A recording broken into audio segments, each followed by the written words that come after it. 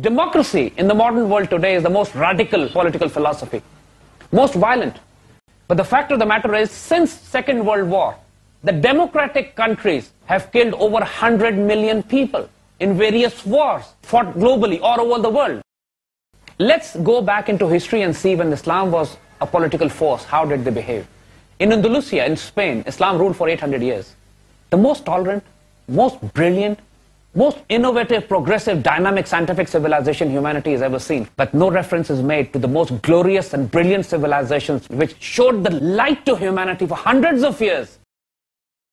9-11 has been the most debated issue globally. The media talks about Twin Towers falling down. And nobody talks about a third World Trade Center building, WTC-7 also, being brought down in a controlled demolition the next day.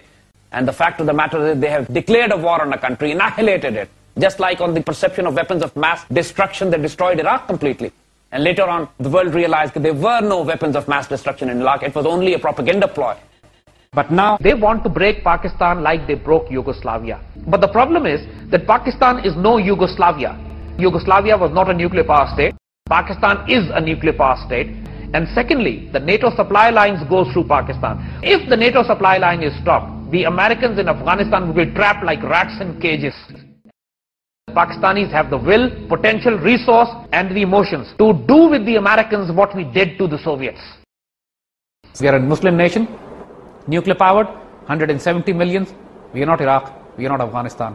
We are ruthless and we fight back. But we want to live with dignity. But when the time comes, we'll die with honor. That Americans should understand.